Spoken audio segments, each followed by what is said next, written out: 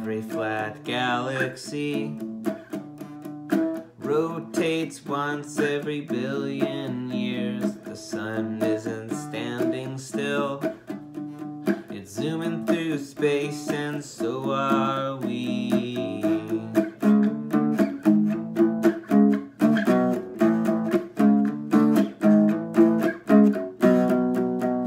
I can't get over time. Don't sense how it works. Stephen Hawking died here on the birthday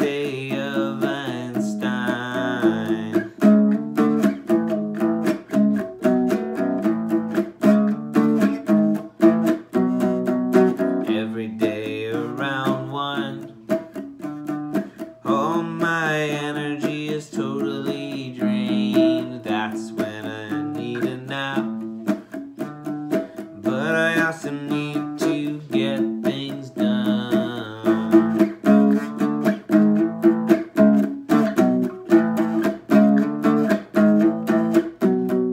I think one billion years, it seems likely that we'll be gone by the time our galaxy rotates. Everyone that ever